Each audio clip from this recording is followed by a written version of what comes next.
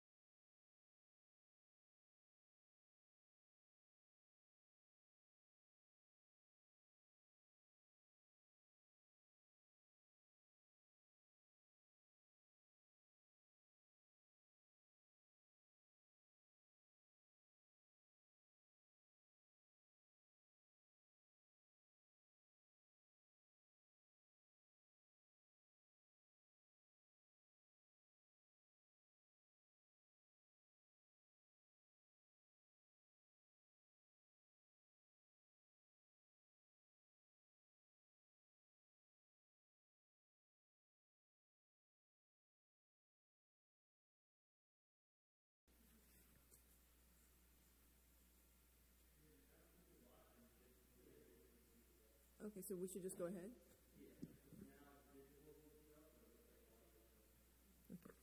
Okay, welcome everyone to this um, Oyster Bay East Norwich Central School District Business Meeting. Um, Can we all please stand for the Pledge of Allegiance?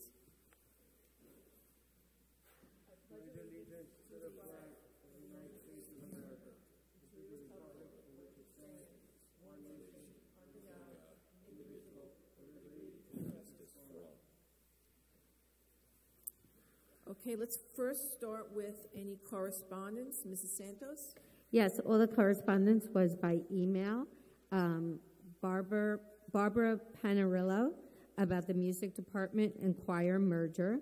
Thomas Rizzuto on May 17th regarding JV baseball game. Andrea Treble regarding Island Trees games. Sean O'Toole regarding JV baseball athletic department proposal. Grace Serby about the budget 21-22 and Barbara Curry regarding New York State Department of Health interim guidance for in-person learning. Okay, thank you. Um, Now I'd like to turn it over to the Superintendent of Schools, Dr. Yanni. Thank you. Uh, Good evening, everyone. Um, I just uh, want to follow up uh, some of the uh, previous emails that we received. Uh, We follow up uh, regarding personnel. Um, So we will not discuss that in public, but at this time, I would like to discuss an email that came from uh, Ms. and Mr. Curry uh, this afternoon, I believe. Uh, The, the, the most important question is that in terms of the high school vaccination program, um, we have not um, we have not recruited students to be ambassadors of that program.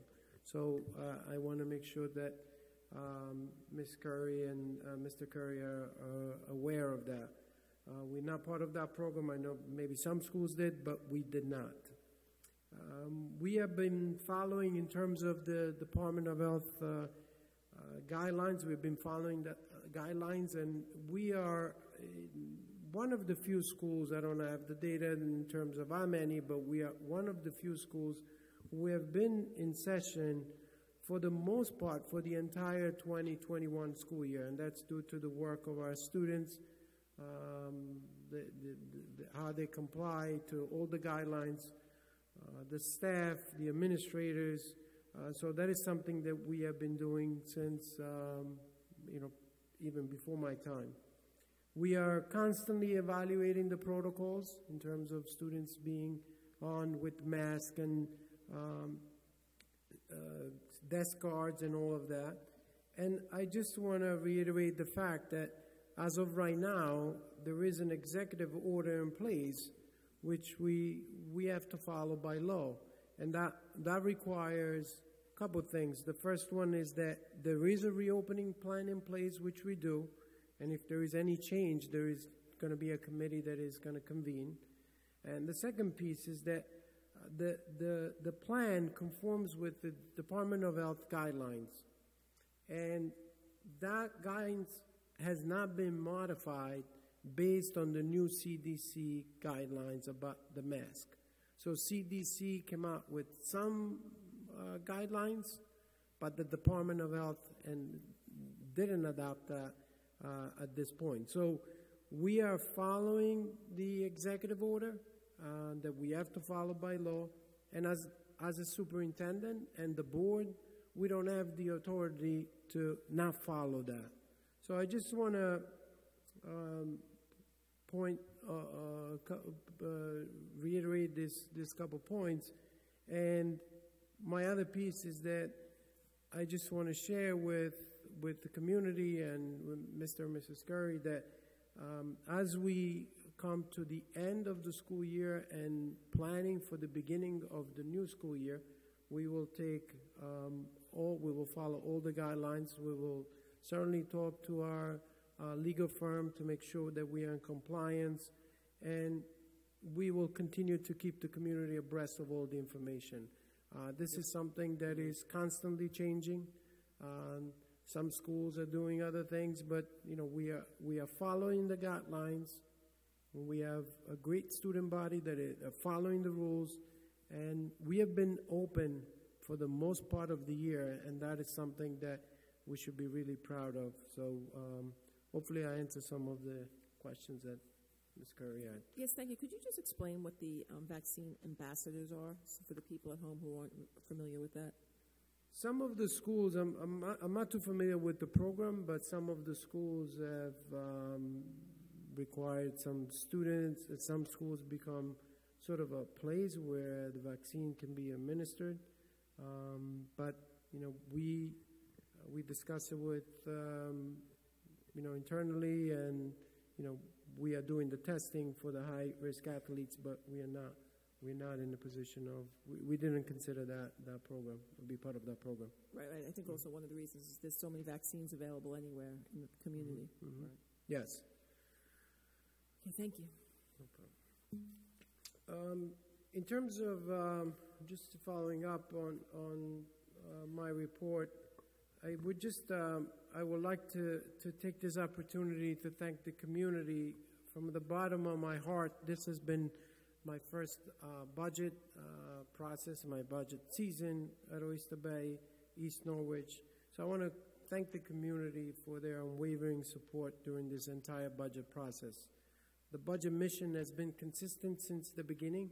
Uh, we, um, we, we started by looking at our mission and looking at a vision and to create a budget that will effectively and efficiently promote district goals and, most important, support our students. Uh, the vision of empowering all students uh, to achieve excellence is alive, and we are so proud of their work every single day. Just to mention a, a, a few things, Uh, the other night I was at uh, Roosevelt last week, and it was um, sports night at Roosevelt, and it, and it was fascinating to see the parents, and um, I saw a lot of dads and uh, playing with the kids in different events, um, and to see the smile in their face and the joy of being together, being on the field, it, it was just really gave a sense of a family atmosphere, and that's what we are very proud of. I also, hopefully, you had, a, uh, like me, the opportunity to see the virtual art gallery. I want to thank the students for their artwork um, and the teachers and the administrators for putting that together. We did not miss a beat uh, because of my staff, because of the, the, the, students that we have, and even with the, with the musical uh, streaming live, we kept going even though the, sometimes the, the school doors were a little bit closed.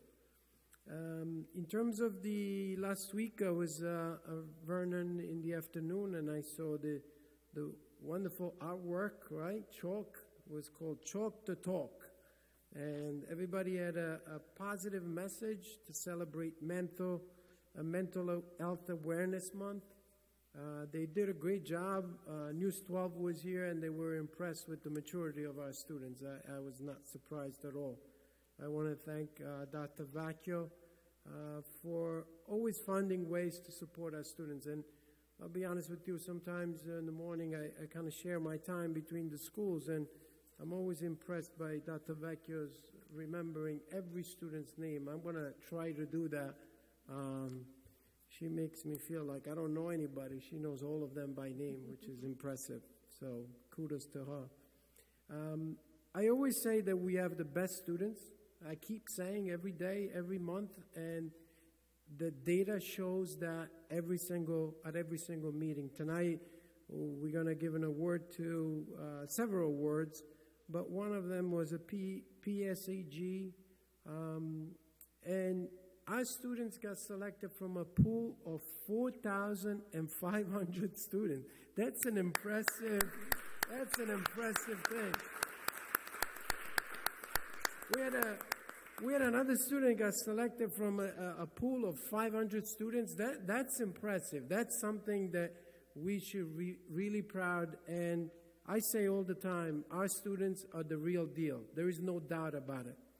Um, great students usually have amazing role models, and I am very very proud to share that the Long Island Council for Social Studies has chosen doctors Dr. Joseph Pasquera, K-12 Social Studies Supervisor, as, they, as their outstanding supervisor of the year. Joe, why don't you come up? Come up.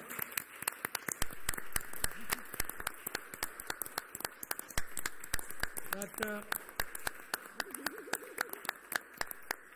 Dr. Pasquera has been um, involved in the K to 12 Social Studies Department, helping us with the uh, with, with, all the transition, with the new standards and uh, impressive work, even with the town and with the work to bring to bring that, that curriculum to bring a, a, a sense of reality uh, and not just uh, topics on, on, on, on the book.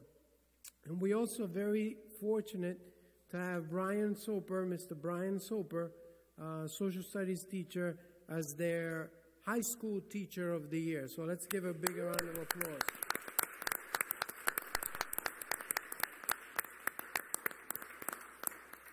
So at this point, I know we have a long agenda, so um, I will pass it to uh, Dr. Moho to read some of the names, and I'll be at the podium to give some of the certificates.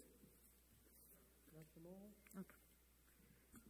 First, of all this evening, we'd like to recognize um, Oyster Bay High School freshman Anya Kelly, who won the National Junior Honor Society's Outstanding Achievement Award. Anya is one of 500 exceptional students nationwide and one of 36 students in New York State to receive this recognition. So, Anya.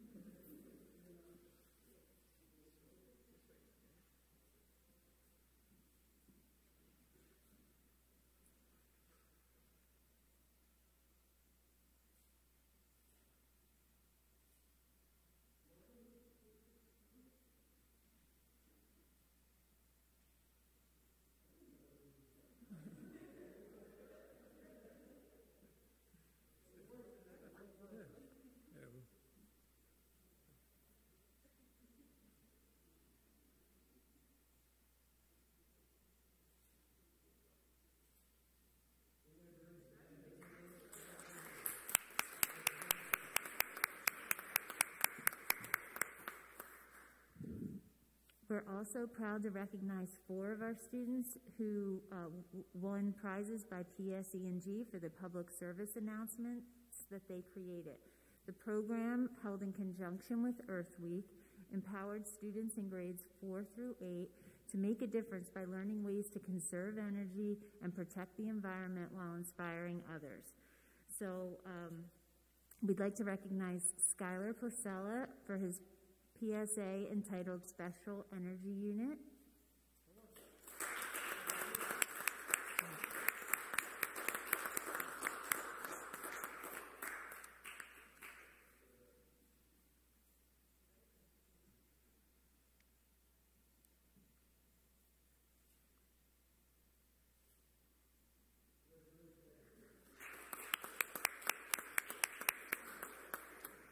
We also would like to recognize Abigail Rudnett for her um, PSA entitled How to Conserve Energy.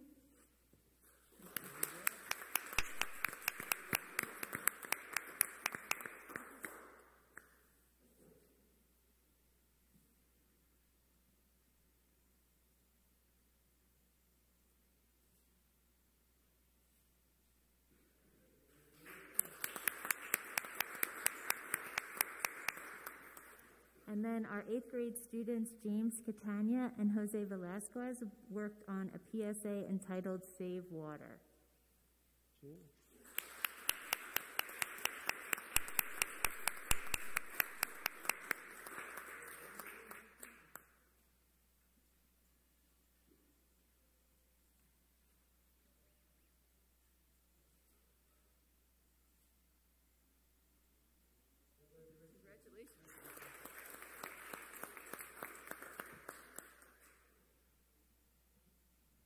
We have one more. Uh, Joseph Velasquez.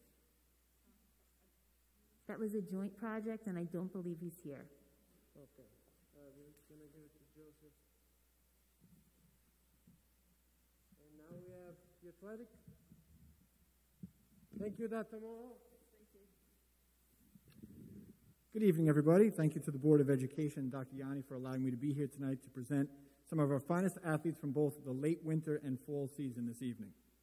Thank you for all your the support you've given to the athletic department, its coaches, and its athletes. The Oyster Bay Athletic Department enjoyed a terrific season of participation during the fall and winter. Even better, our fall athletes had some amazing experiences with their friends during a unique time in the history of high school sports and in our region. It was incredible seeing teams reconnect after a long delay since their 2019 seasons ended. While the seasons were shorter, experiences were various and plentiful. Tonight, it is my honor and privilege to recognize our Oyster Bay High School athletes who were recognized for their achievements during both the late winter and the fall 2021 spring season through the various levels of high school sports. Before presenting the individual athletes, I'd like to recognize Oyster Bay teams that earned Scholar Athlete Team Awards from the New York State Public High School Athletic Association. These teams had a 90% or better team academic average. For the fall season, girls cross country led the way with a 94.68 average. Girls volleyball, 94.5. Field hockey was 94. Girls tennis, 93.4. Girls soccer, 93.2. And boys cross country, 92.47 averages. Congratulations.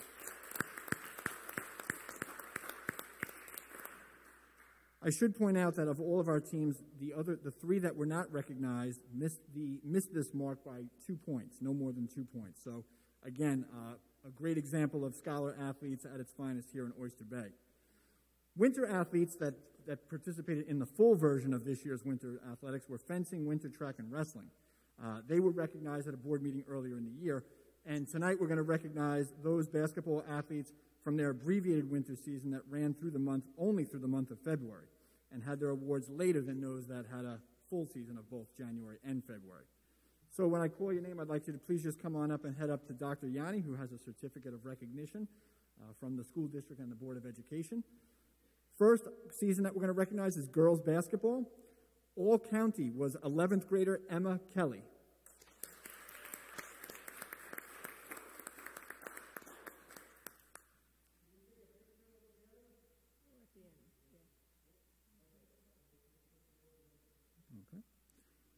Also from the girls basketball team, All County Honorable Mention, Gabby Treble, Senior.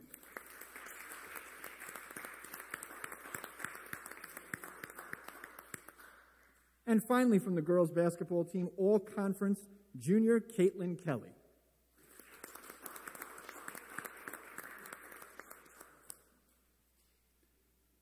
From the boys' side, All League Senior Max Weinberg.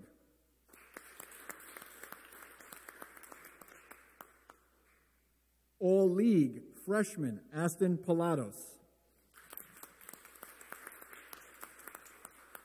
And also All League Senior Kai Shepard.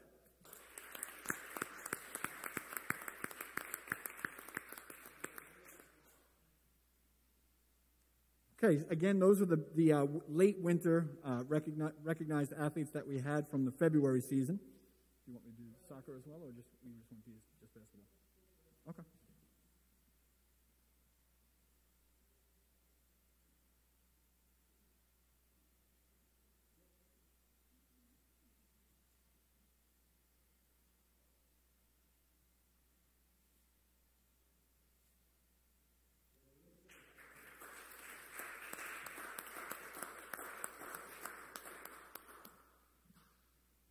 So the fall season, uh, coming back up for a second time this evening, senior Gabby Treble was all county and scholar athlete for girls soccer.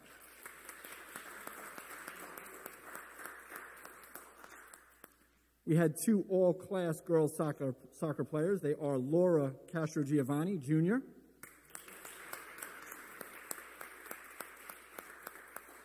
and joining her with all class honors is junior Paulina Draven.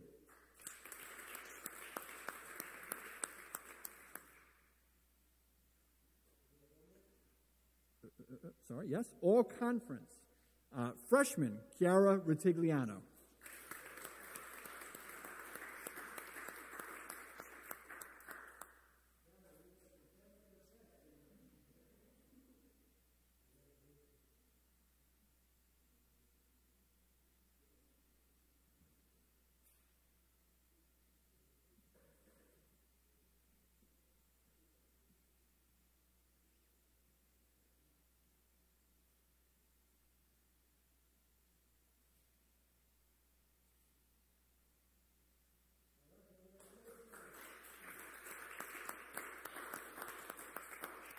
Kiara, Kiara, before you move too far away, I didn't want to make you do this twice. At this time, because we have athletes from you know multiple waves of athletes, as I mentioned in the lobby, I'm going to ask those athletes from this first group and those uh, receiving other awards from this first group, if they could, to just exit through this side doorway, and uh, Dr. Pescara will let in the second group of athletes from the fall season.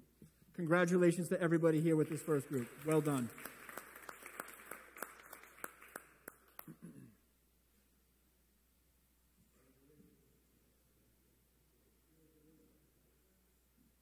Thanks for coming. Have a good night. Good night. Good night. Congratulations. Great job this season. Congratulations. Have a good night. Good night. Good night. Congratulations. Have a good night.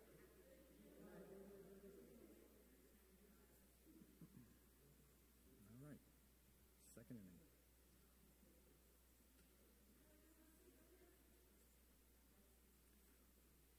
Okay, the second group now coming in consists of members of the football team, field hockey team, and volleyball team.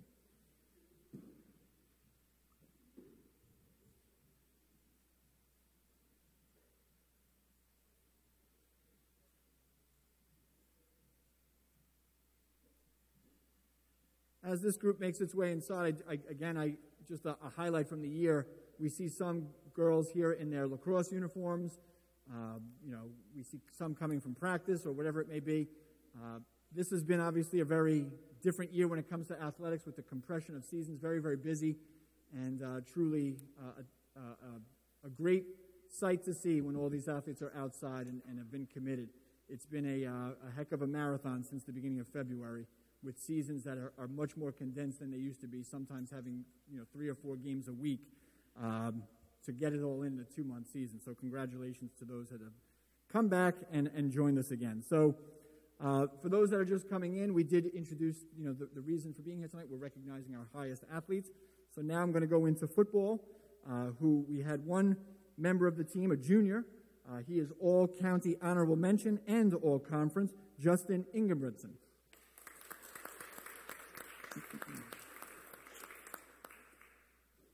Okay, Justin's not here. The field hockey team was a Class C semifinalist this year and had a number of girls recognized for their outstanding efforts. First off, senior all county honors Jen Coletti.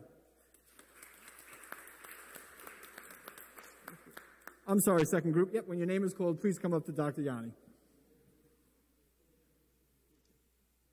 Okay. One of our senior standouts, Anna Silver, all county and scholar athlete. Anna Silver, senior, field hockey. Another senior earning honors of all conference and the Exceptional Senior Award, Colette Kilfoyle.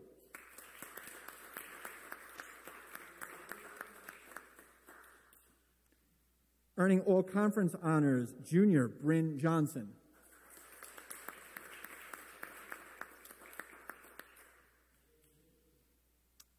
Earning all class honors, junior Megan Cox.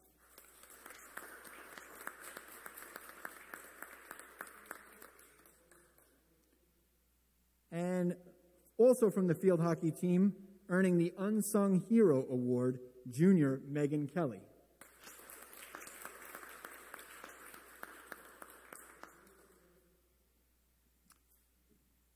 The last team from this second group is the, volleyball, the girls volleyball team, uh, who enjoyed a terrific season, uh, earning the title of co-conference champions and also making it to the semifinals. Are we going? It's up to you. This is this is the next sport, though. Yeah.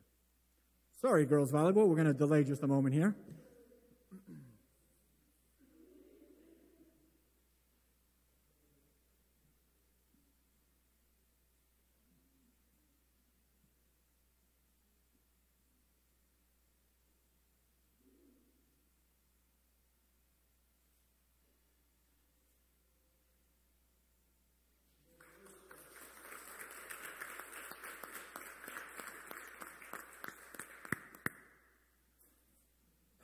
Back to the girls volleyball team.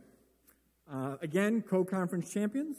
Uh, earning all county and all tournament is junior Bridget Zaradnik.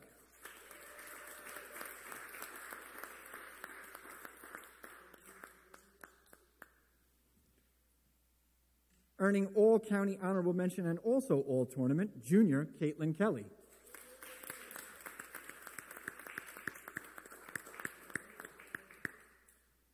Earning all county honorable mention, congratulations, senior Maya DeFiglia.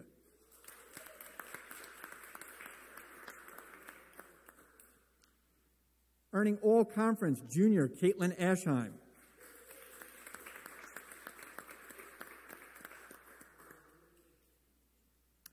Earning all conference and the Scholar Athlete Award, senior Skylar McAvoy.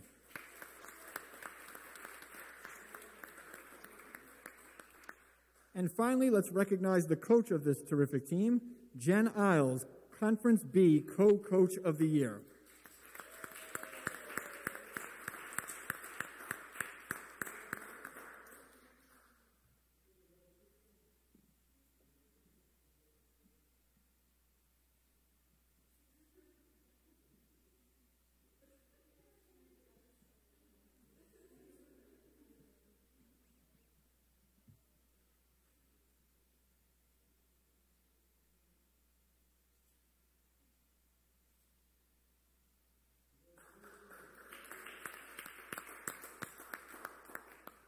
Okay, that, that was the last group that we're recognizing during this second segment. I thank everybody for coming, making their way from their lacrosse games and all other places in the area. At this time, I'm going to ask those that were just recognized to head out the exit over here uh, to my left. To head out, to head out, we're going to ask Dr. Pescara to bring in the third group of recognized athletes. But again, thank you for coming this evening, and congratulations on a great season.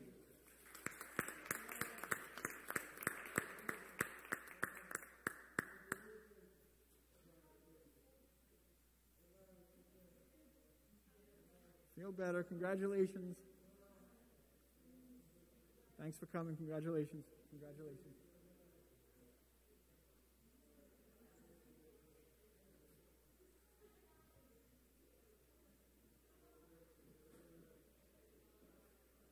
Okay, to those folks making their way into the library, come on in.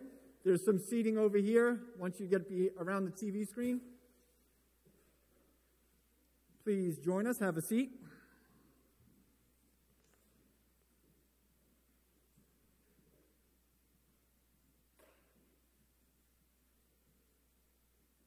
Okay, this is the final group, the final round of recognized athletes from the fall 2021 spring season. Uh, that we are going to be now looking at boys cross country, girls cross country, boys soccer, and girls tennis. Uh, again, thank you to all those who are, who are attending this evening, and uh, we're going to just go right into the awards for this group. So, from the boys cross country team, which was the division champions this year, we had a county champion runner. So, the first member of the boys cross country team I'd like to recognize and congratulate is senior Nick Tarduno, the Class C county champion and also earned all county honors. And as division champions, we have three more all county recipients. Uh, joining Nick is senior Riley Keffer.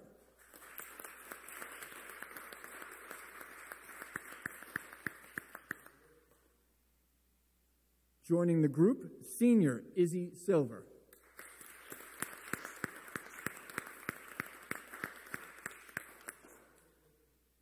And rounding out the all county honors is senior Will Capone.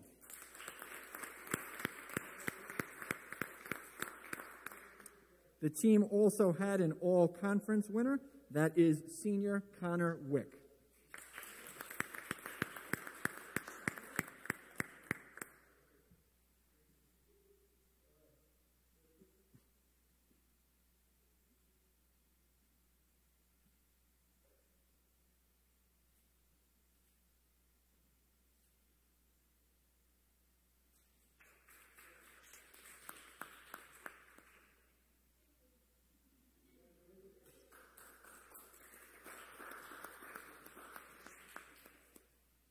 From the girls' cross country side, also a successful season for these young ladies. Uh, however, we had a record breaker in the group who also earned all Long Island and all county honors. That is Greta Flanagan, who set the 5K record this year.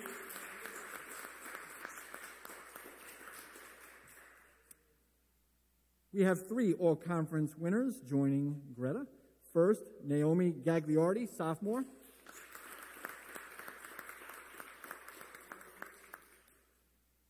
All Conference, Gabriela Ortuño, senior.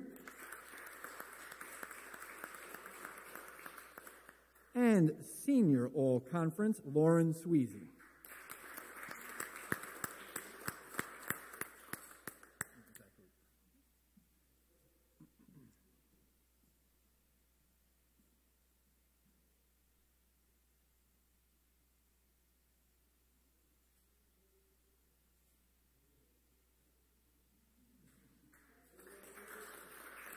Congratulations, girls cross country recipients. Boys soccer. We had an all county athlete and two earning all conference. Uh, first, all county, Hector Ruiz Bonilla, Jr.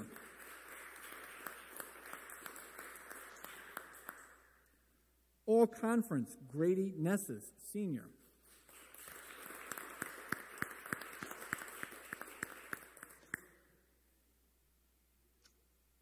And joining Grady with all conference honors is another senior, John Tiberia.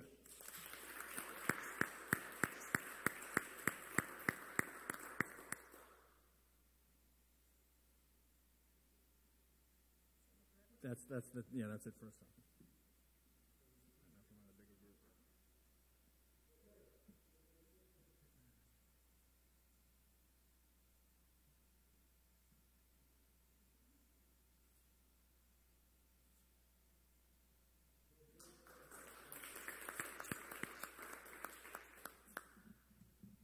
our last team that has uh, athletes being recognized tonight, earning all conference honors, seniors, senior from the girls tennis team, Rachel Kowalski.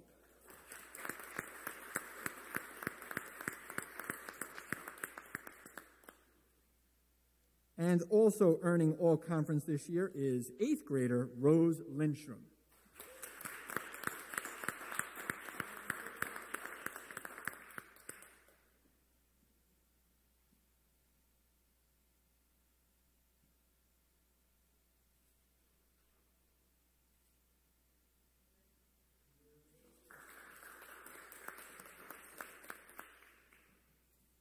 Okay, for those of you that came in with the third group, again, thank you for coming this evening.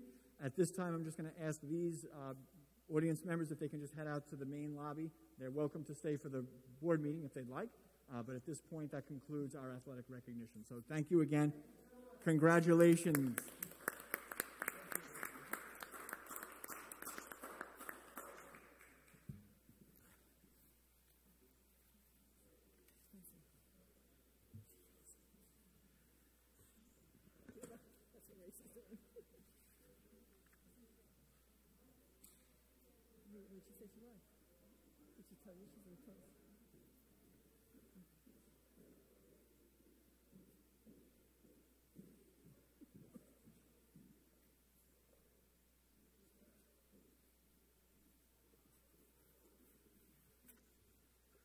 Dr. Pasquera, um, we are like, at this point, we'll invite Dr. Pasquera to present the Social Studies Department update. Thank you. Thank you, Dr. Ianni. It's a tough act to follow there. Thank you, sir.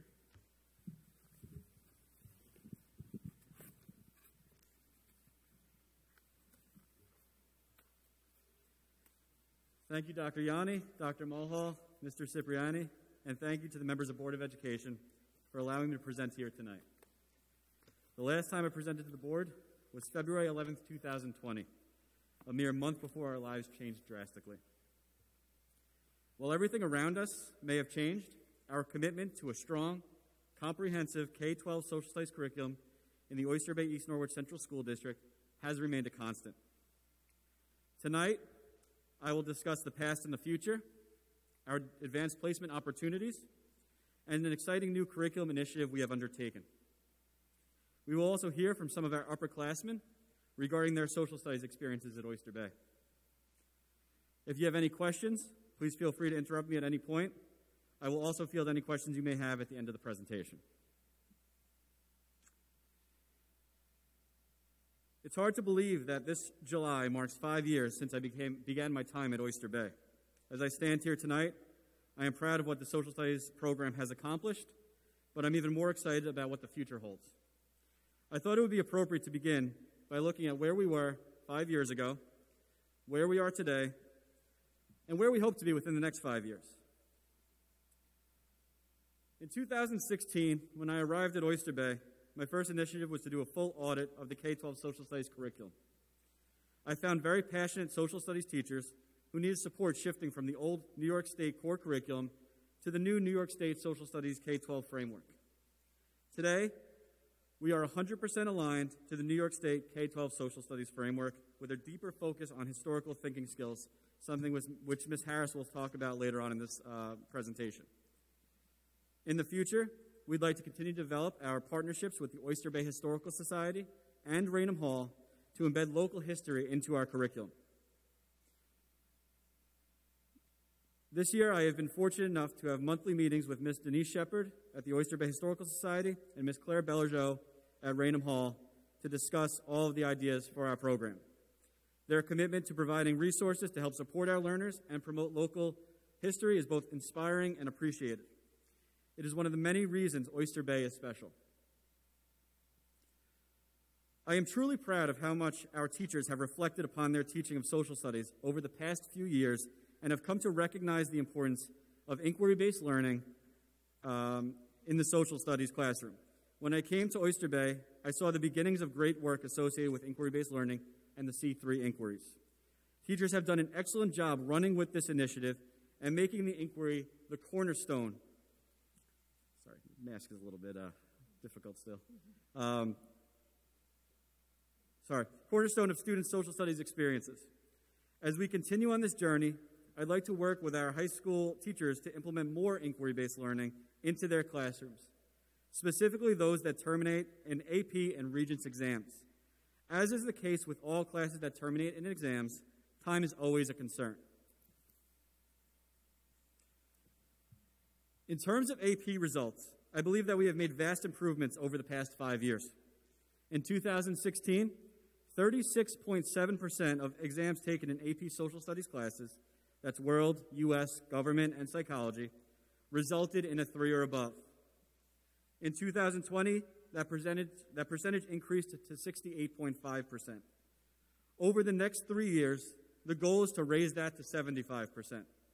To reach this goal, we will ensure that we are up to date on all the changes from College Board, attend the AP sponsored summer institutes when necessary, attend regional workshops, and continue to maintain a commitment to our collegial groups. Oyster Bay has always performed well on social studies Regents exams. While many districts chose to wait when New York State announced the Regents exams would be changing, beginning with the 2019 June administration, the Social Studies Department at Oyster Bay chose to go full steam ahead and embrace the changes. Our global and U.S. teachers attended workshops and accumulated resources online to ensure they were prepared for the shift. Furthermore, our social studies teachers became regional leaders and shared their uh, expertise with other districts at conferences and workshops. By the time the exam was administered for the first time in June of 2019, our students were prepared and the transition was seamless. In the first administration of the new Global 2 exam, 90, 94% of our students passed and 42% achieved mastery. The goal moving forward is to increase our mastery rates, um, and uh, while our passing percentage is in the 90% range, the goal is definitely to ensure we increase the mastery rate. AP Social Studies courses at Oyster Bay High School are all about opportunity. We are proud that three of the four most highly enrolled in AP courses are in the Social Studies department. We will continue to add more AP courses where we believe there is a need moving forward. For the 2021 22 school year, we will be adding AP Human Geography for interested 9th and 10th grade students. We will also continue to discuss the feasibility of new AP programs for the future. Finally, we will continue to work to develop supports to ensure all of our students are successful in AP level classes. Over the past couple of years, New York State has initiated changes to their educational system that includes a focus on culturally responsive sustaining education. The four principles of culturally responsive sustaining education include a welcoming and affirming environment, high expectations and rigorous instruction, inclusive curriculum and assessment, and ongoing professional learning. We have continued to reflect upon and modify our curriculum to ensure it, it adheres to the four principles of culturally responsive sustaining education that New York State has focused on. I have been lucky enough to be in a place surrounded by history and historians who love to support their local district. Over the past five years, I have relied heavily on the Oyster Bay Historical Society, Raynham Hall, and Sagamore Hill time and time again. During the summer of 2020, we began to discuss modifying our curriculum to have a focus on local history, as well as to align to the social justice standards. I have had the opportunity to work closely with Ms. Shepard from the Oyster Bay Historical Society and Ms. Bellerjeau from Raynham Hall to add local history to the social studies curriculum at Oyster Bay. While this process is ongoing, I am excited about what we have been able to accomplish so far and I look forward to completing this project during the summer of 2021. Here to speak more about this is Keegan Harris, a first year social studies teacher at Oyster Bay High School who has been working with Ms. Shepard and Ms. Bellerjeau to create lesson plans with an infusion of local history. Ms. Harris?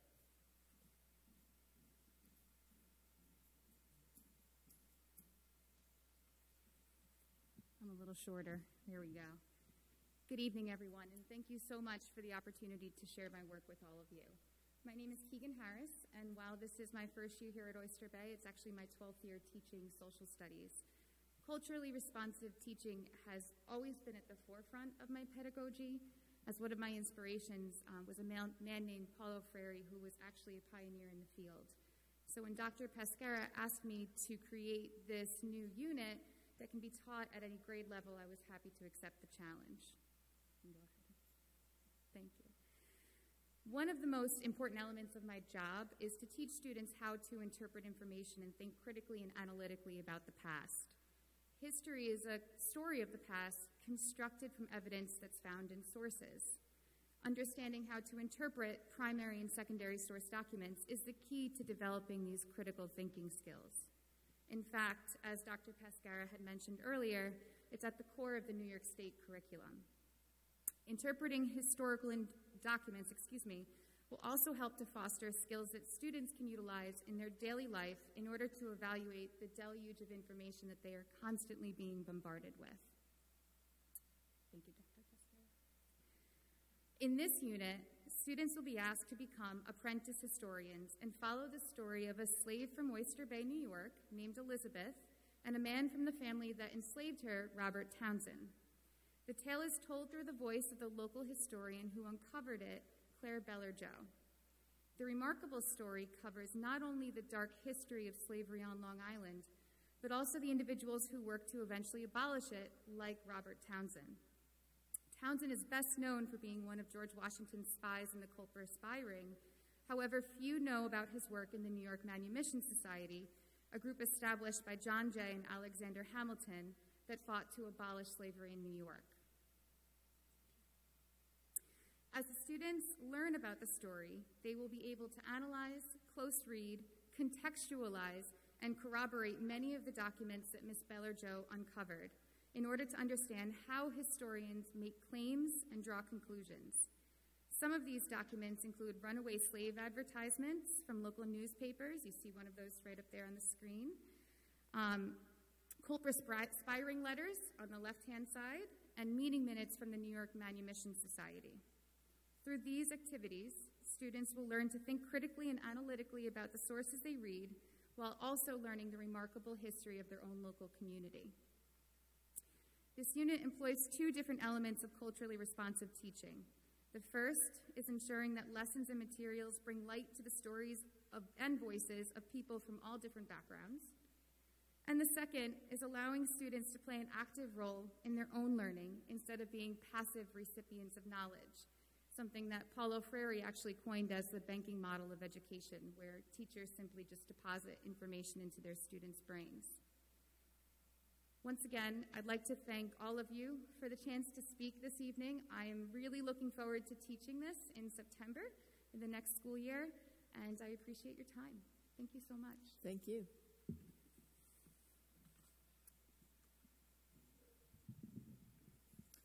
Thank you, Ms. Harris. We are excited to continue this work and look forward to sharing the final product with the board during the 2021 2022 school year. Before we conclude this update, I'd like to share with you some feedback that we collected from upperclassmen through the Rho Kappa Social Studies Honor Society. It was great to get their input on what they enjoy in the Social Studies department and what they believe could be improved upon moving forward. Along with that, they made some requests for classes to be offered in the future including AP Human Geography, which we will be offering during the 2021 2022 school year. Here are three upperclassmen, seniors Brianna Baugh, Peter Amendelora, and Anna Silver, to discuss their experiences with social studies at Oyster Bay High School.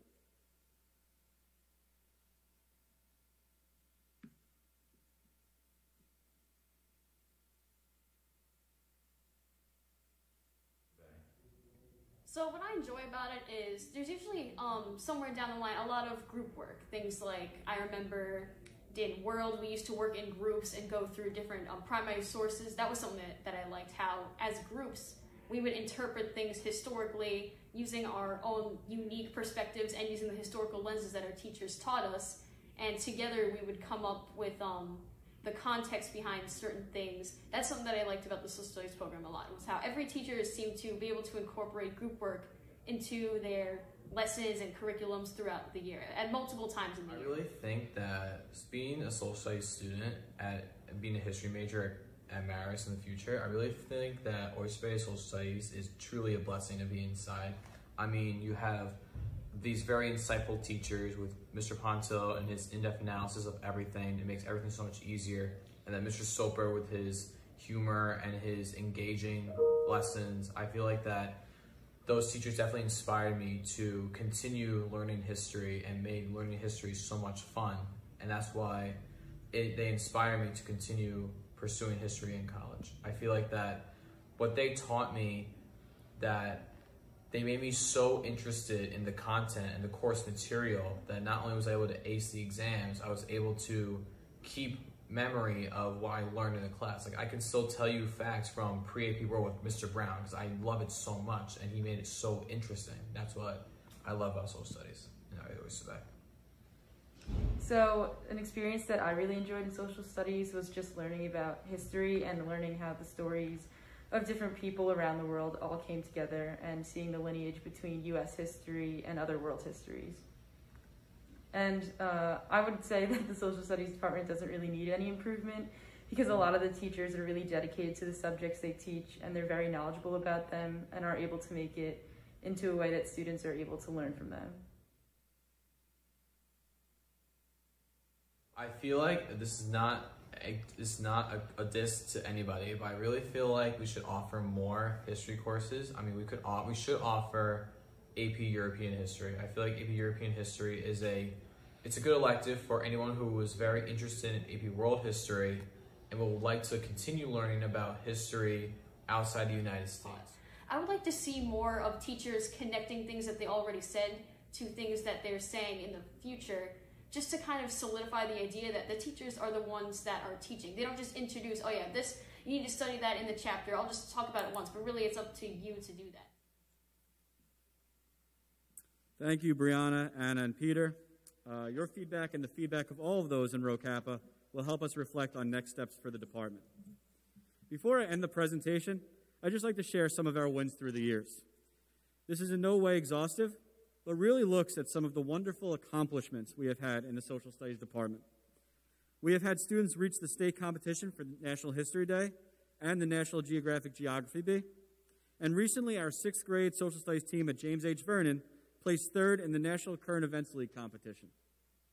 As a department, we have been doing great work and have shared that work with the island and the state through presentations at workshops and conferences. Finally, our teachers have been recognized for the great work they have been doing, including a Social Studies Elementary Teacher of the Year and a High School Social Studies Teacher of the Year.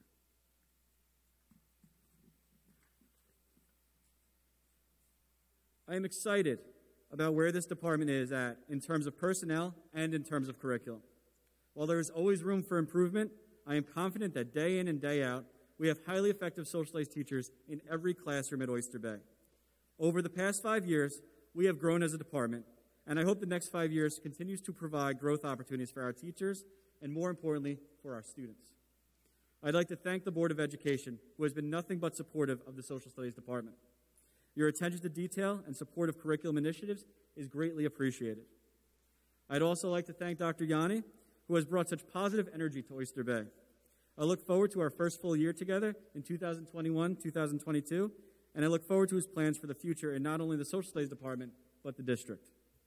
Thank you to Dr. Mulhall for always providing her support and advice as we dove into curriculum changes, new Regents exams, and shifts in instructional practices. Thank you to my colleagues, both, both administrators and teachers, who have come to this, who come to this pearl of the North Shore every single day and inspire our students with their expertise and passion. Most importantly, thank you to the students. Their drive to be the best they can be has always been evident, but over the past 14 months, I have had, to, I had the opportunity to see their resilience. They are truly an inspiration. Thank you again for the opportunity to present here tonight and for your support of the Social Studies Department. I'll take any questions you may have at this time.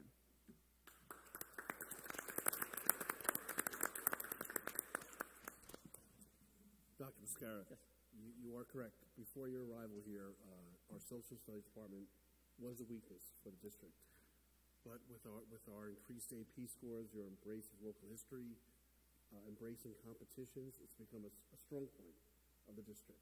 Um, but I do have a question. Sure. There was one class yeah. Human geography? AP Human Geography. Can you explain what that is? Sure. So AP Human Geography is really the study of, of how people have evolved and where they've settled. It's, it's a really interesting class, and the reason we're putting it in the ninth and 10th grade is you can connect it to world history to, to understand patterns of settlement. It's, um, some of our neighboring districts have, have started to, uh, to uh, implement it, and, and the response that they've gotten from their students is that they really enjoy the course. It's actually a course that they just love to, to, uh, to take. So we're hoping it takes off here.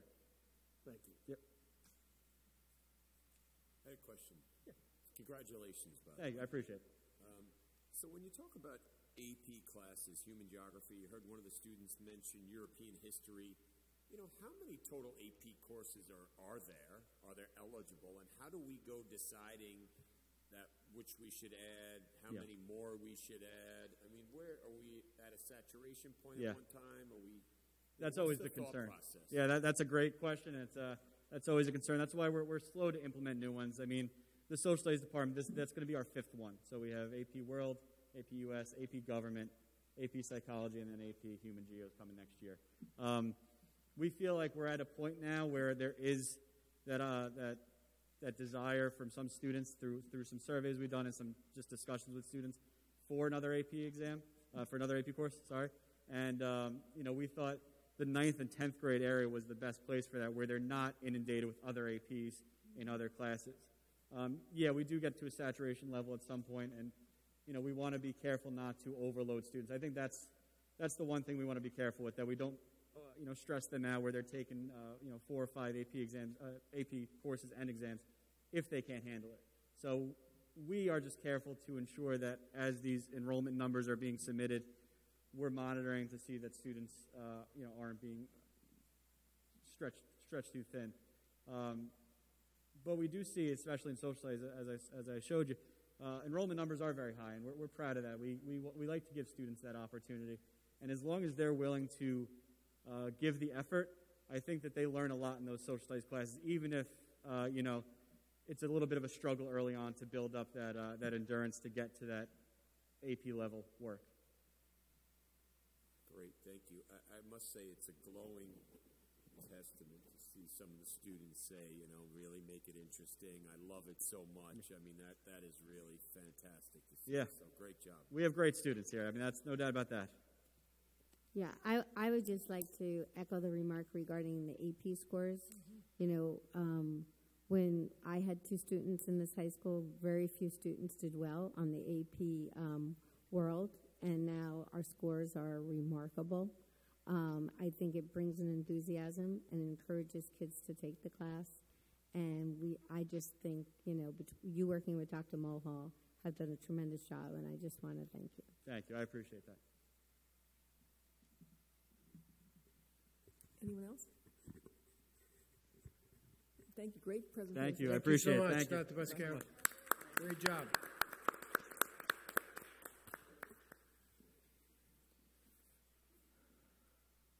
Okay, on to uh, approval of minutes. Um, For the workshop meeting on four six twenty-one and the workshop meeting on four twenty twenty-one, motion, So moved. second? Second. Um, Any discussion? All in favor? Aye. All opposed? Motion carries. And now on to Dr. Ianni for the Sure. business, the uh, business and facilities report.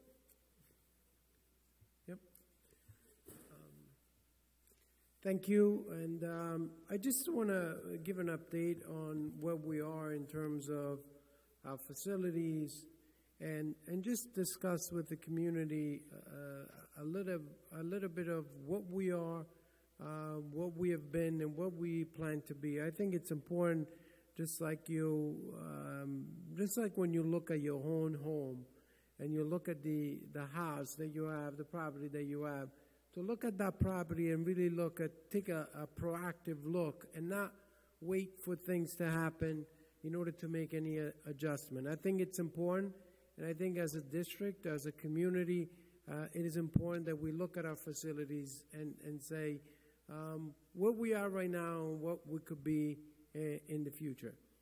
Uh, was very uh, did a little bit of uh, work in terms of um, our schools and you know, impressive that um, the high school was built in 1929. And when you look at the high school and the location of the high school and where is located right, right uh, uh, on the waterfront, basically, um, you could see the, the, the, the amount of maintenance that takes a school like this with the amount of bricks and, and everything, the windows and facility and everything that we have uh, to maintain that, that facility in top, in top condition.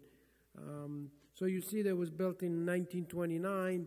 Uh, Vernon was built in 1955. And we have Roosevelt uh, that it was a little after that, I think around 960.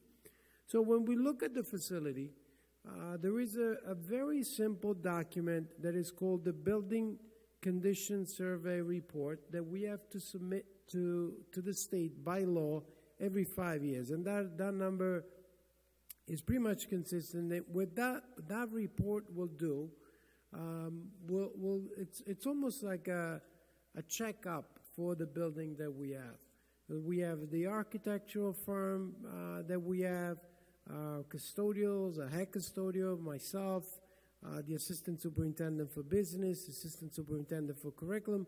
We walk around the building, and the the the, the building, um, the architectural firm, walk around the building, and they look at every single detail.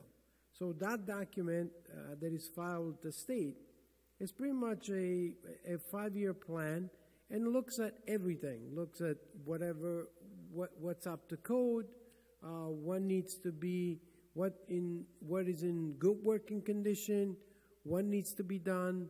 And it is important to look at that survey because that's a, that's a way to, to kind of be proactive and see what what needs to be taken care of before it becomes become, before it becomes a problem. There is also healthy and safety uh, items uh, codes that need to be um, they need to be addressed. So sometimes when you take a classroom and you divide that classroom, you need to have a proper ventilation, or if you have let's say windows um, exposed to you know near near the waterfront you see the salt or the corrosion, you want to make sure that you stay on top of that, or even inside the amount of plaster that we have in the building, uh, and, and stay on top of that. And what we do, we look at the budget every year, and you're trying to find a balance, just like a home. Uh, you built your house, and then year after year you have the use and then sometimes you call the painter and then you go through that and then you renovate the kitchen then once you're done renovating the kitchen then you think about the living room and you say wow not that looks uh, something that needs to be renovated and then you're looking at the electrical and, and that needs to be updated so all of that is built into the budget but when you look at the budget right uh, one item that is very, very critical is that debt service line. So sometimes from year to years we have uh, bond that have been issued, capital project that have been issued, because those projects they cannot be included all at once inside the budget. The budget will go through the roof. So what you do, you build a little bit at a time when you can, and then once in a while, when the rate is at the right time, when you have an interest rate that is um, at, the, uh, at a low level, or you have work that needs to be done, a large amount of work that needs to be done, you create sort of a, a, a capital project, a debt service. And so one of the first things that I've done since my beginning here at Oyster Bay East Norwich was to look at the debt service analysis. And look at that debt service analysis. We discussed this during the budget presentation. And if you look, you will see that the, the, the debt service uh, line is part of that eight point calculation that is um, eight, eight parts calculation that is that we use to calculate the allowable tax levy. So just like we did the budget right now, we worked on the budget. The allowable tax levy limit was a 1.4. But that calculation was based on a debt, debt service, a line that we have that is part of that calculation of $2.1 million. That is an important line in, in our calculation of the budget because that's part of one of the steps that, that we have to follow. So, one of the things that I noticed at the beginning, as soon as I um, start my superintendent uh, see over here, is that we have some debt service that is coming off. So just like I use the example of the home, uh, sometimes when you have uh, you're leasing a car, for example, um, you see that that lease is coming off, so you have to make a decision. And so you see the payments, and then you see at one point that payments will come off. And then you have to make the right decision. Do I drive? Do I continue to drive to work, or do I walk? Or do I take the bicycle to work? Those are all decisions that you have to make when that debt service is falling off. So this slide is pretty much showing you some of the major projects that we that the district had over a number of years. And this is the last four years. So you will see on this slide, if you look at the total debt service, which is the last row at the bottom, you will see that you have a payment in 2021 of 2,328, which was part of our calculation, and that allowed us to have an allowable tax levy of 1.4. Uh, next year, you see a 21 22 school year 2.3 million, pretty much consistent. Then you see 22 23, there is a payment of 2 million 252. And then when you see something very interesting in 23 24, that payment goes down to $522,000. So you see that the first reaction to this, when you see a drop in numbers like that, the first reaction is, let me check that I plugged the right numbers in, that I did the right calculation. So I did that, and the answer was yes, the numbers were correct. And then I started asking uh, board members and previous board members, um, what was the project that was coming off?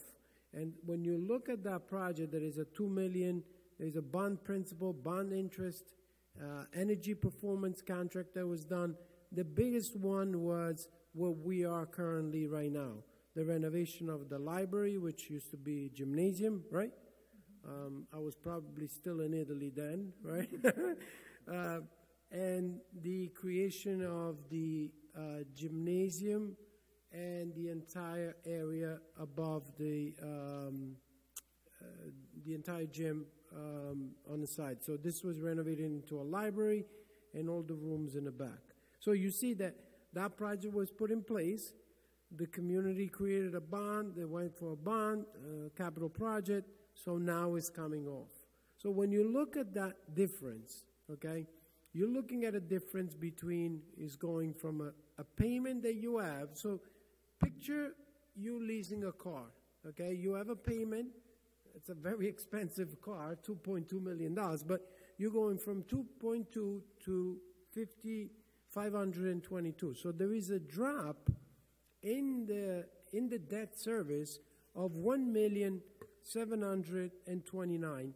And one of the things that I did for the community to see, and we're going to post this on a separate web page because I like the community just to to analyze those numbers and see in full transparency what we're dealing with, that's the calculation with the uh, first year when we did a, a 1.1.4, the levy that we had this year. So we did the eight step calculation and we used our first number of $2.3 million. You're looking at the future, right? Now I'm looking at next year. Uh, what you see in yellow is the calculation considering that every number will stay the same so that the uh, tax levy growth factor will stay the same, CPI will stay the same. Considering all of that, now we are projecting for the future. And you see that that payment, it's still, that, that levy that you see is at about 1.45, which is the number right next to 1.4. If I go one more year, and that's the year when the debt service comes off, you see that the levy at that point it comes to a negative number because now you have that debt service that is not being calculated. It is not part of that calculation. It's a smaller number. So you're going from a $2.2 million to 500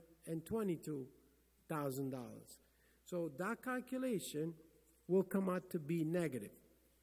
So some people, I, I- usually, that was one of the, my first movie that I watched when I learned the English language. Houston, we have a problem because when you have a negative levy, you can look at that as a problem and as an opportunity, right? So the, the problem that you have with a negative levy is that you are creating a fluctuation in your levy that is very, very tough to overcome over a number of years. So you you can look at this and say, okay, my tax are going to go up by 1.4, 1.45, and then all of a sudden they're going to drop by a negative one point. They're going to drop by 1.5. So you see that that could be a tremendous problem because you have a fluctuation. So the following year they can go up again. So that's one problem. Avoid the, the fluctuation. Any financial advisor will tell you that when you have that kind of fluctuation in the levy is problematic for multiple reasons. One of them is the fact that you have a drop and then an increase. The second problem is that if you decide to do any type of work later on, because the work needs to be done, so the, the, the, the maintenance of, of the facility needs to be done, needs to be, the facility needs to be maintained. When you have that, what you will end up, you will end up with a levy that is going to go right through the roof for multiple reasons. One, you're going to add a debt service. Uh, once you add a negative, then you add, so they could go up to 4 or 5%, uh, number one. And number two, the cost of any work that you do two years, three years from now could be tremendous for multiple reasons. One, the cost of material, two, labor, and all of that. But the other piece is the interest rate. And right now we have uh, interest rates uh, that they are very, very low, almost unusually low, I would say. Right, Marianne? Um, so, what is the opportunity? Every time we look at a problem, we say, okay, we have a problem. We're going to end up with a negative levy if we just sit still. What is the opportunity over here? Well, opportunity number one is what if we create a new debt service to maintain, to avoid the fluctuation in the levy? That's one, that's one tremendous opportunity. And, and so we have to really think as a community um, the, the, the facility that we have, the improvement that we have made, that you have made, the investment that you have done. If you look at this beautiful building and you look at the music uh, wing, the music department, you look at that wing, it, it's almost like very hard to believe that that was an add on because the, the community supported our bond, the community uh, really, the district really looked at the project and they were meticulous in the design, in the implementation of, of the work that was done. So we have to look at every problem and create an opportunity because at the end of the day, we need to continue to provide our students with the best possible options that we can that we can we can give them. And given the fact that the interest rate right now is so low, we really got to look at the numbers and analyze and say, can we get, can we let this wonderful opportunity go by? Um, so, what if we create a potential new bond? And so, what if we do that? Well, there are a couple of things that we're going to solve. One problem is we will avoid by putting a same debt service on, right? We will avoid a fluctuation in our levy. So, in other words, we can put a same bond, continue with the same thing, continue with the same payment, and the community will feel no change in their levy. Mm-hmm. That's tremendous. The second point, the second problem that we we solved. I usually use the word solved because when I used to teach mathematics, solved was like check. I finished, like check. So solved. The second solved problem is that we did uh, with with we did a calculation, projected calculation. Again, those are projections. Things can go up, way up, or way low, but projection based on the on the past. We did the projection, and we saw that if you decide to do work in 26, 27, which is possible, it's a couple years from now, your levy will go up to a 5%. Now, think about this. We have an increase of 1.4, which is within the limit, and we had roughly about 1.1 million dollars, 700 from from budget to budget. So when you look at when you look at a 5% levy, that would be a tremendous problem. That would be a tremendous problem because that will have an impact on programs. There is no way a community can afford a 5% nowadays and not look at pro- programs that, that we have in school. So those are the problems.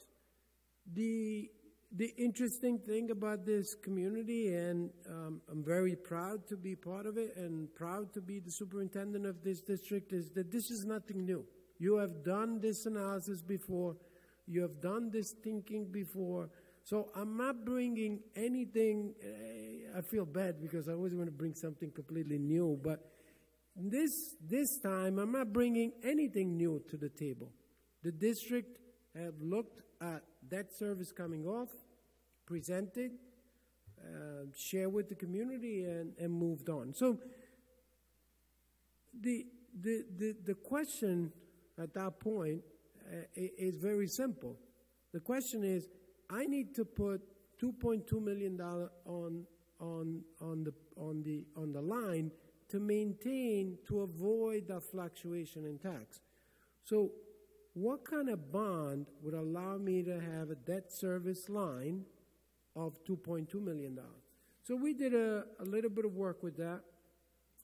And when you look at that, that difference, in order to have, if you look at the first table on top, if you look at a debt service of $2.2 million, the community can afford, without a change in a penny, a change in taxes, can afford a, a new capital project um, of in the range of $30 million. That would be a 15 year uh, 15 year bond. Uh, the interest uh, estimated at this point is about 1.5 is very low. Uh, but in order to have that kind of debt service, um, the community can afford to have a project on multiple schools of $30 million. Um, when you look at the when you look at the payment, that payment would be sort of consistent with what we have been doing. And so the, the, the natural question is, if if we present a, a, a project, a capital project uh, in the range of $30 million, and, and you see that schools, even surrounding schools, have done the same thing because of the interest is so low at this point, and there's always a, a look at what's next, looking at the, the levy, the positive levy and negative levy. When you look at the scope of work, we have looked at multiple things. One, we looked at the building condition survey. Number two, we looked at the schools today and say what the school should look like 15, 20 years from now. Because you want to do project, you want to do work just like you do in your house. You don't want to build a living room that is going to work for a year or two. You want to create a living room that is going to be there 15 years from now, 20 years from now, and is going to be still, um, you know, useful. Uh, and, and, so, what are some of the work that we, we looked at, that we investigating, that we investigated, and we kind of brainstorm a little bit. So, just going by school, and again, those are just ideas that we had because we would like to share this and, and, and, start a conversation with, with the community and, and hopefully have a meaningful conversation and say what we need, what our students need, and how can we, can we achieve that. So when you look at the high school, um, that's a beautiful high school, and uh, this is so nice because the, the Google Earth, Google Earth is a wonderful thing. It's becoming my best friend. So you look at the high school, that's the tennis courts in the back, the library, and the renovation. One of the, the overall scope of that work for the high school is twofold. One is in the library, this work was done, but all the back offices over here, uh, they were pretty much untouched a little bit. So the idea would be on the left side to renovate the inside of this this uh, this area, um, and and create in the back of the library where where we are over here, and look at create a, a, a renovation of of that area, almost to create a uh, an innovation lab. So what students and what we've learned during the COVID is the fact that students are uh, not learning, and 10, 15 years from now is going to be even different. They're not learning the typical way. They're not learning in the typical format where a teacher's in front of the classroom, they're sitting in a row, and, and they learn by collaborating, by investigating. So when you look at an innovation lab, when you're looking at a picture, for example, like a, like a, a store where you have students and working with with tech, with the technology department, um, student working on AP courses, investigating, brainstorming together, collaborating with each other, doing video conferencing. So that entire room would be renovated with that in mind. The idea would be to create a, a, a classroom for that is 10 years from now, 15 years from now, we look at it and say, wow, we were way ahead of the game uh, and, and start that renovation. So that entire area in the back of the library will be renovated.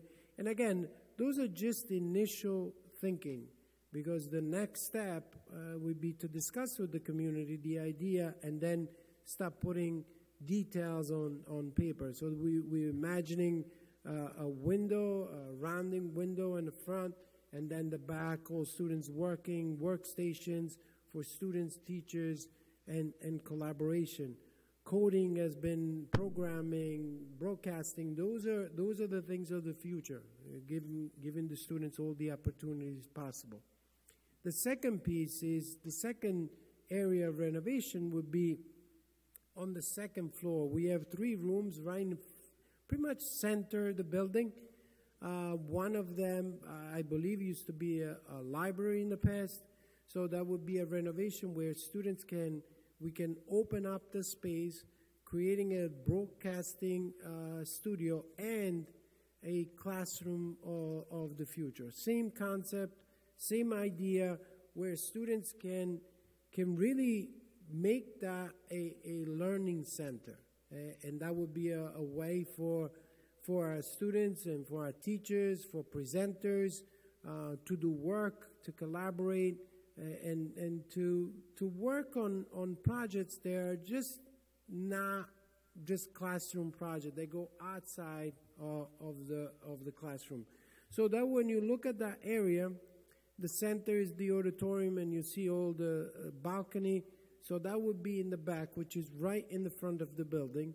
We will open up one space, the, the two classroom, create one uh, area uh, maintain the, the, the, that off. There is an office that uh, is uh, almost historical in terms of the woodwork that is there. So incorporate that into the design of those rooms um, and and create that that uh, that new center.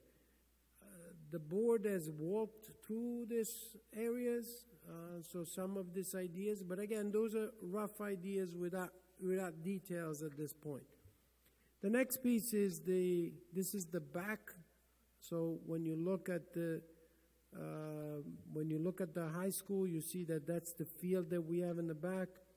And I think would be uh, a tremendous uh, help to have um, a turf field at the high school. Uh, that will create a, a space for uh, football, for soccer, field hockey, girls lacrosse, softball. Um, so that would be that that will put a nice touch to to our high school facility. Um, we you have seen the work at the uh, at Vernon, uh, the high school.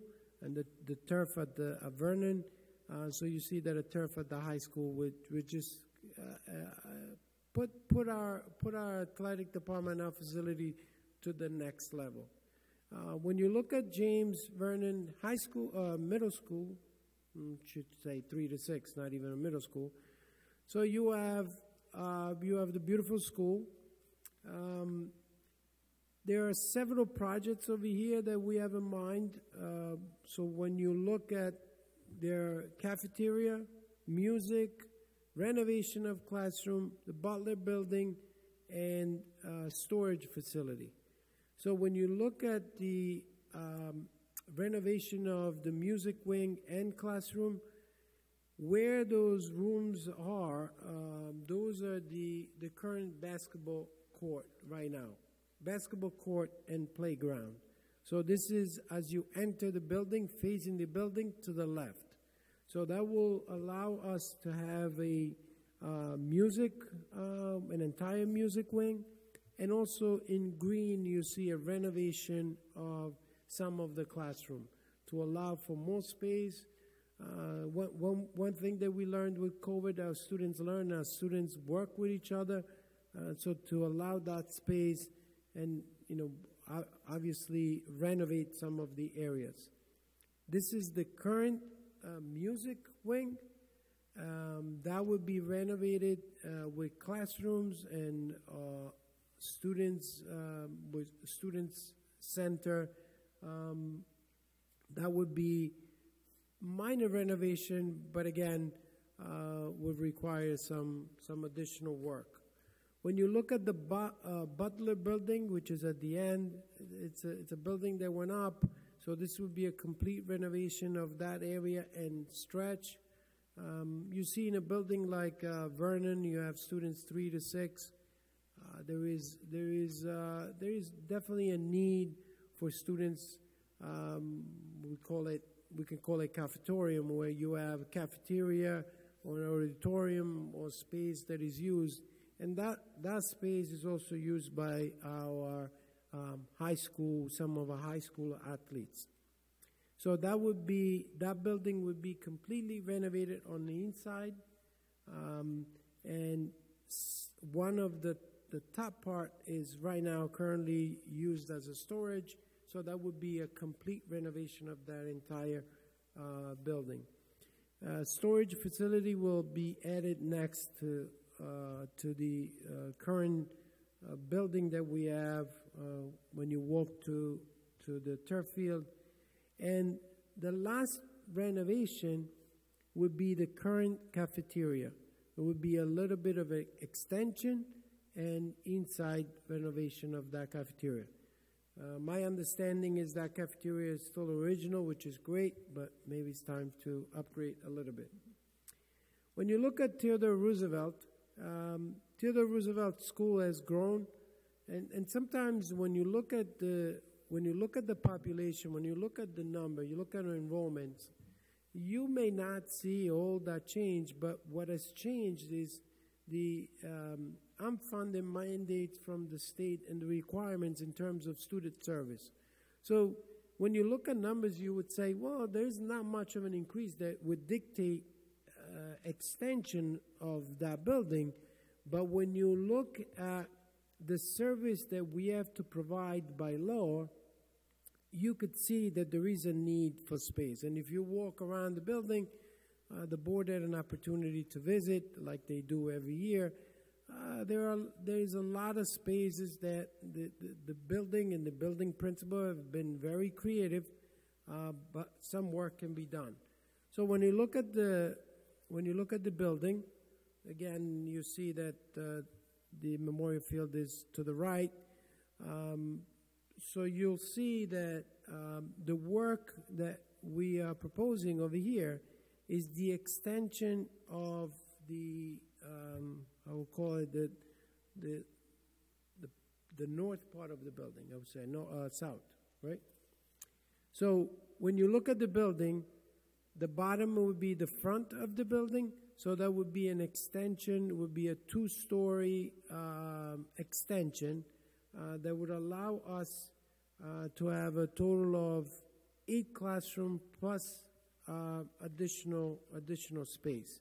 So when you look at by floor, this would be the first floor. So you see the eight classroom, the support space, um, obviously uh, all, all, the different, you know, the staircase and closets and, and all of that. That would be the first floor. And that would be the uh, pretty much uh, the second floor, which would be similar to that, and obviously they don't have the exit to, to, to the ground. So that would be work that, that we are proposing over there. So when we look by building, uh, just to quickly summarize, you have Innovation Lab by the library at the high school, the turf and 21st century classrooms, you look at Vernon, you have the music wing, the renovation of the Butler building, the ground storage, and the cafeteria and the room renovation. And then when you look at Roosevelt, you have the building extension with eight classrooms and learning uh, space.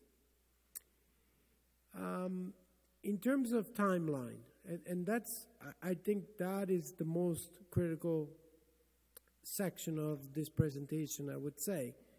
Because when you look at the timeline, when I when I share this with the board and I kind of project, plan that out, right? What we have, we have a, a, a critical, um, we are at a critical point, and the point is that right now, in order for us to be successful in putting uh, into the budget a, debt, a debt service that would allow to maintain the same levy and avoid that fluctuation, we are in a very tight uh, timeline. In other words, we need to have, if we, if the community supports this idea, right, we need to have a, a vote um, that is going to come in December. And that would allow us to put boots on the ground in the summer of 2022. If we miss that timeline, right, what will happen is by the time we get all the approval from the state and, and everything else, that debt service is going to come off. And once it comes off, it will defeat the purpose of having the, the debt service right at the uh, end of the previous one. So when you look at the timeline, uh, typically, when long-term debts issue, uh, principal and interest in the following fiscal year. So we need to issue bonds during the 22-23 school year to backfill the debt that is falling off. So in other words, if it comes off and then you let it go a little bit and then you put it on, it will defeat the purpose of, of doing this. But if you put it right at the end of the previous one, then will work. As a result, we have a one-time opportunity to create learning spaces that our students deserve with no additional expense. And I, I can't emphasize this enough uh, because when you look at the when you look at the work and you look at the the the uh, talking to the financial advisor, uh, this is definitely an opportunity that is um, that would be tremendous for, for all our students, not just the high school and and the uh, Roosevelt students or, or, or, the Vernon student. This would be an improvement to to our facility, to our community, and you know it's like when you're home, you you want to have a wonderful home. So when the kids come home, they're proud of bringing their friends home, and that's how I look at it all the time. Uh, we have a, we're going to post a, a, a, timeline that we, uh, we had planned that I had an opportunity to discuss with the board. We're going to continue to have this presentation. Um, I hope that, you know, we, we post, um, we send several blasts, but I would love nothing more than to talk to community members, to talk to different organizations, um, however you think would be the best way for me to, to share the message and for me and obviously the board and my team to, to talk about the benefit and to look at things that maybe we didn't think of. Because right now, um, we're trying to brainstorm and, and try to look from from a financial perspective, from a, a student perspective, teacher perspective, and, and also looking, looking at the future. I'm going to post this timeline that we have. Uh, this is, you know, I call it tentative timeline because nothing is set in stone. The board has seen this um, as, a, as a part of their preview to, to the board meeting, but this has not been set in stone. This is literally um, us, my team, looking at looking at the numbers, looking at the books, and say, "Hey, what can we do to be proactive, to give the students the best, and empowering them so they can achieve excellence?" And um, I want to thank you, and I want to open up if you have any questions or um, questions for me. Yes, thank you, Dr. Ianni. Um, it does seem like this is a, a, great time because of interest rates. It's probably one of the lowest interest rates we've had in a long time, and we can improve our facilities you, borrowing money at such a low interest rate. Um, it seems very interesting. I think we also saw that during the pandemic, our schools are do need more space. Mm-hmm. Um, it was very difficult to spread out our students. Um, we've got students in some very small classrooms, so I think it, it, that's also really interesting. Um, the question I have for you is if this bond, we, we put it up for vote in December and it's passed, at what time can you lock in those interest rates to make sure that we get the, the lowest interest in case things start rising in the near future? So, um, when you have, if, let's say we follow this timeline, right? Uh, you will put boots on the ground on the summer of 2022. At that point, you will not go for the full bond, right? You will go for bands, um, bond, bond anticipated notes. Um, so you can lock some lock some of the uh, the interest uh, on that end, but I think the the full bond it will go into 22, 23, 23, 24 would be on the book. The first payment would be in 23, 24. Mm-hmm. And we can finance as soon as we get SED approval. That's, that's what we need in order to get financing. SED approval on, on a project or two. And once you get SED approval, can you still lock in that interest rate for that bond? Yes. Or you can? Well, you lock it in for the band. So the bond anticipation note would Mhm. come first. And then as you get more SED approvals, you would turn that bond into, that ban into a bond at a certain point when you hit a certain level of mm-hmm. expenditure. So, so we have to. But you don't have to structure it with a band. So, I mean, you could, you, you have alternatives to structure it as a direct, you know, as a bond without using the ban if you feel that rates are going to go up.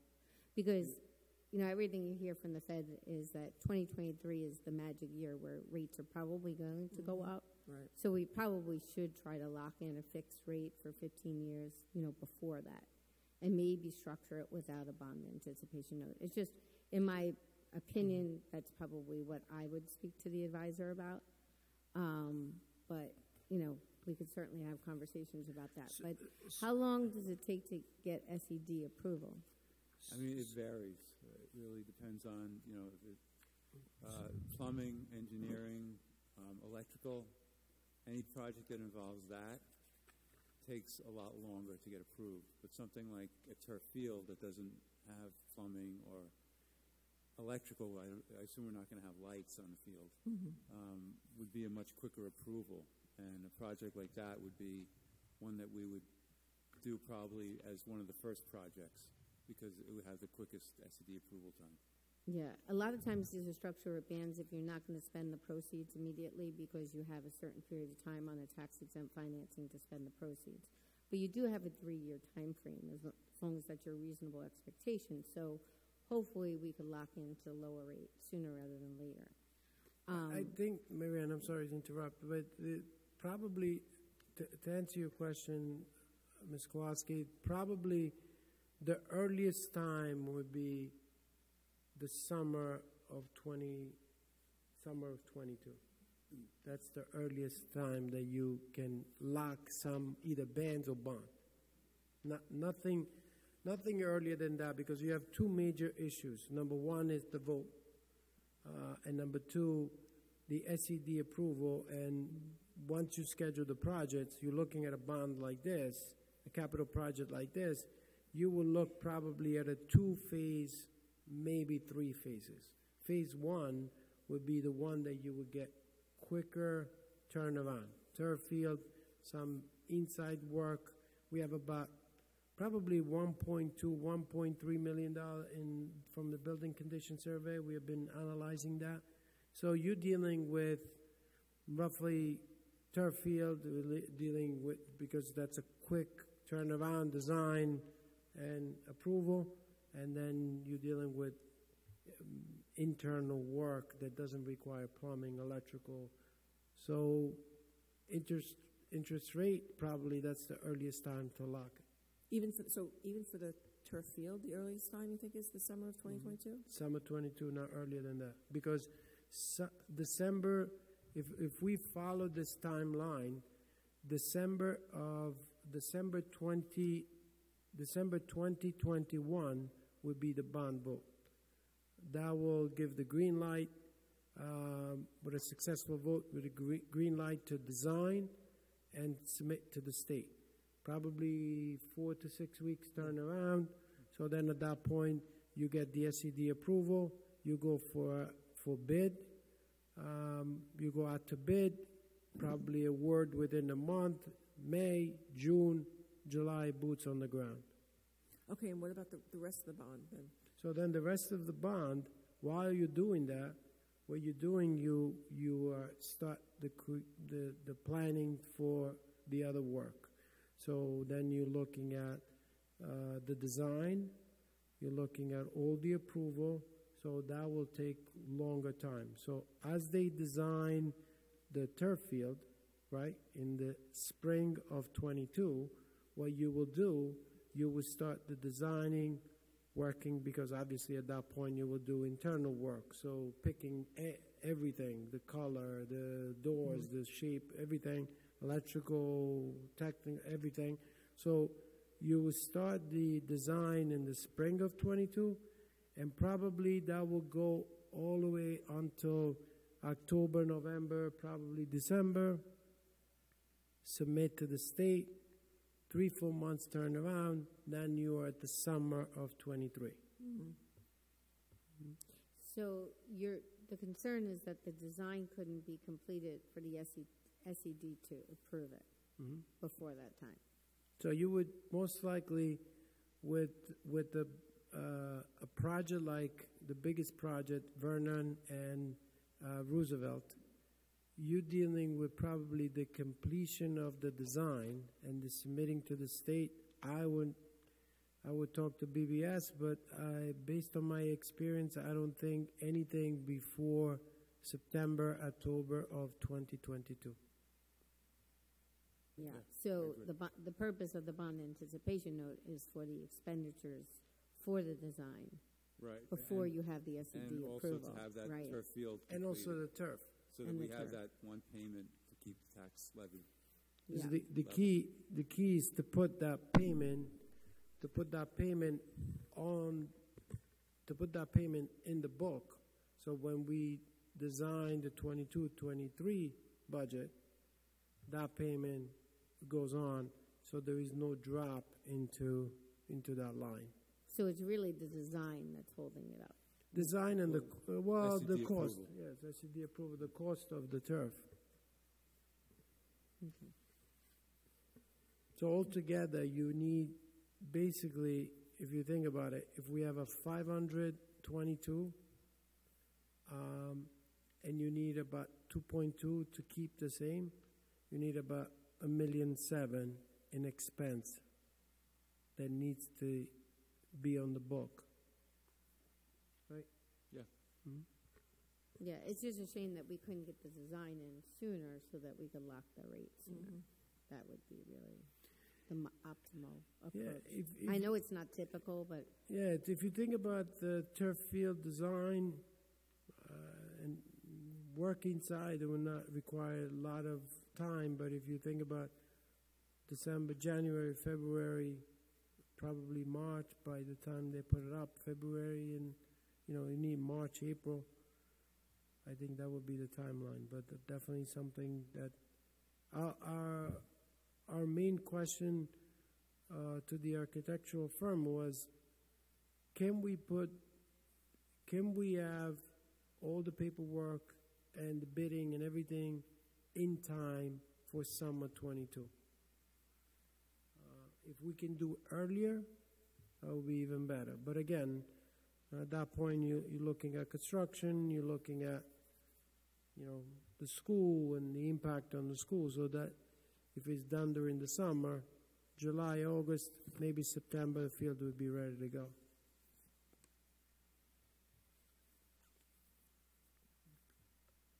Any other question? Okay. Thank you. Well, thank you, Dr. Ianni. Um, it was a very interesting presentation. And hopefully you'll be giving it to the PTAs and the PTA councils, things like that. I will start the conversation and um, we will continue on June 8th to give more details, but hopefully um, any community member, I- I'd like to just share the same presentation and go over so we can talk about it and hear feedback. I think it's important that we're all on the same page. Summer is coming, so a lot of people hopefully go on vacation and things are getting better, so it's important to, to keep talking. We want to make sure that the community understands the, the opportunity that we have. Thank you. Okay, on to um, personnel actions. Um, this goes down to page, let's just see where it goes to. It goes to page four. Um, Resolved upon the recommendation of the superintendent of schools, the Board of Education of the Oyster Bay East Norwich Central School District hereby approves the following professional personnel and civil service personnel resolutions as listed. Do I have a motion? So moved. Second? Any discussion? All in favor? Aye. All opposed? Motion carries. On to uh, budget adoption. Resolved, the Board of Education certifies the tallies of the annual meeting as recorded by the district clerk clerk dated May 18th, 2021. Do I have a motion? So moved. Second? Second. Any discussion? I just want to congr- congratulate Nora, who is joining her first um, Board of Ed meeting tonight. So welcome. Um, all in favor? Aye. All Aye. opposed? Motion carries. Business actions, resolved upon the recommendation of the superintendent of schools, the Board of Education of the Oyster Bay East Norwich Central School District hereby approves the following business resolutions as listed. Do I have a motion? So moved. Second? Second. Any discussion? All in favor? Aye. All opposed? Motion carries. Special Services, resolved upon the recommendation of the Superintendent of Schools, the Board of Education of the Oyster Bay East Norwich Central School District hereby approves the following Special Services resolutions as listed. Do I have a So moved. motion? So moved. Second? Second. Any discussion? All in favor? Aye. All opposed? Motion carries. New business. Resolved upon the recommendation of the Superintendent of Schools, the Board of Education of the Oyster Bay East Norwich Central School District hereby approves the following new business resolutions as listed. Do I have a motion? So moved. Second? Any discussion? All in favor? Aye. Do we have to approve the slate for the, um, Nassau Suffolk Board of Education Association or? Uh,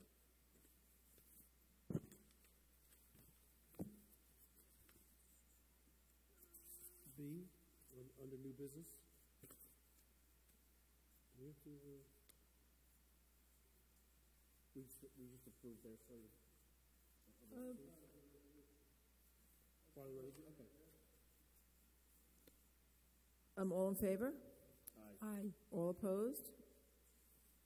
Motion carries. Okay, I think that is, and uh, move on to, I don't know whether there's discussion or Friday packet. Any questions on the Friday Yeah, packet? I, I just had a question on the Friday packet, and it was also part of the correspondence. Um, so the music department choir merger seemed, seemed to be not optimal for the students. And I guess I just wanted to discuss that, the possibilities that we have there.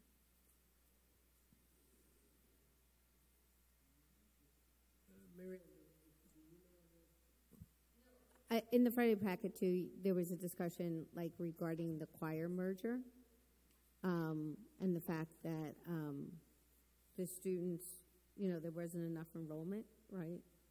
I mean, we don't have to discuss it tonight if if you want to, you know, look at the data and maybe come back. Well, we, we did look at the data. Um, the part of the issue is with some smaller numbers next year, it creates, um, we usually would have a concert choir and the chamber singers. And so when those groups are so small, you don't have full, like, a full bass section or a full section, and it makes it a bit more challenging. So we did make the decision for next year to merge the two with the hope that we'll be bringing back both of them, that this is not a permanent, um, you know, status for the two choirs. Do we like know what the impact to, from a music perspective, like, you know, it, it just seemed like from the correspondence and, you know, the parents are, are just not thinking it's an optimal situation. I understand enrollment is down, but we've run programs before with APs that had enrollment down because we want to provide the best support, obviously. So I was just wondering why in this case, maybe we were not supporting the two choirs separate. I guess that the best analogy I could give would be um, if you don't have enough to run the JV team, you're merging the two. So I think it's more of a situation like that because you have been very generous with all kinds of courses, especially when we're trying to start programs. Um, so it wasn't that we had such low numbers that we were afraid we weren't going to meet the 12. It's just that to give that full choir or choral experience as opposed to like a small ensemble experience. So it just changes it. So they would be like two smaller ensembles rather than choirs. Mhm. Um, any other questions on Friday packet? Okay, do we have a, uh, a motion to adjourn the meeting? Okay, thank you, everyone. Thank you, everyone at home for participating. Good night. everybody.